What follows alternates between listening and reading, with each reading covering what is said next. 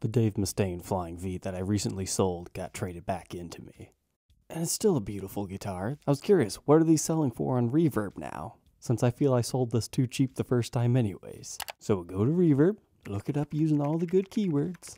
We got a couple of pre-orders that you won't get till late in the year, and one just like mine. Looks pretty good.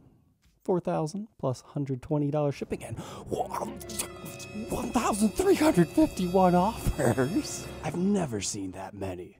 There must be a ridiculous story behind